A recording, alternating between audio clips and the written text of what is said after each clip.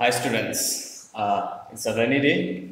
You can see, uh, uh, how can you see? Sorry, you can hear only the sound of the patted Peter. You know, uh, it's a rainy, rainy sound, sound uh, created from the rain. So hi guys, hi students. I hope you all are fine. And uh, you know, from today's incessantly it has been raining even uh, from today morning. Uh, since today morning it's been raining. Continuously it's raining. Sometimes you feel uh, you know monotonous sometimes you feel fantastic that uh, we are staying inside our homes and uh, doing our hobbies. Like i like to write poems and uh, like to draw some things and listening music.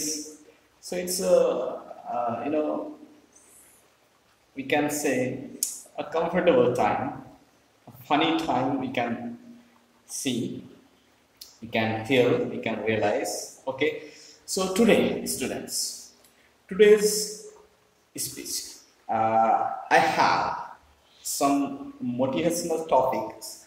I have come with some uh, motivational topics and today's motivational topic is that uh, before before saying something I must um, say that uh, I, I have come. It's, it, it's, it's a long time I have I'm uploading okay? Uh, it's a long time since I last uploaded my YouTube videos. A motivational zone YouTube channel. It's my own YouTube channel.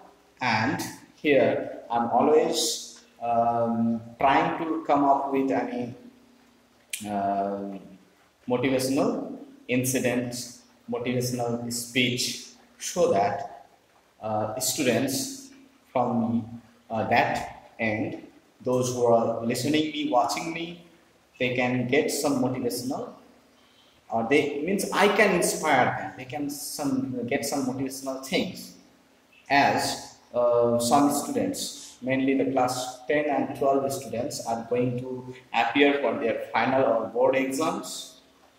Uh, for them, it's a very, um, you know, fruitful video. So I must tell you to watch it. It's a needful, it's very needed for you all. Let me uh, know what are you doing? Are you um, are you there with the same flow, same rhythm, or you know what I um, I was feeling during my exams or during the time before the exams. So it's a very very difficult things to concentrate or to focus on study uh, for a long time.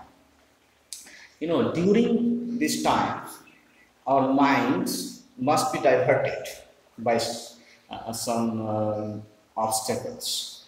So, you know, obstacles or the obstructions, they have only one uh, work and they have only one uh, target and their target is to divert or break the concentration of the students. Okay, so we who are studying, you know, the students, those who are studying they have to mind, they have to keep um, in mind that they should not, okay, anyhow, any in any rate, anyhow, they have to complete the things they are going um, to study. Okay, complete the things properly, then give, uh, you know, revise all the things. Without revision, all the things will you know left you know um, incomplete. So it will be incomplete. You have to complete it somehow okay? Anyhow you have to complete it without com- without without the completion. How can you expect a good result from your from you? Oh it's it's it's, it's a common thing. Everybody knows. Everybody knows.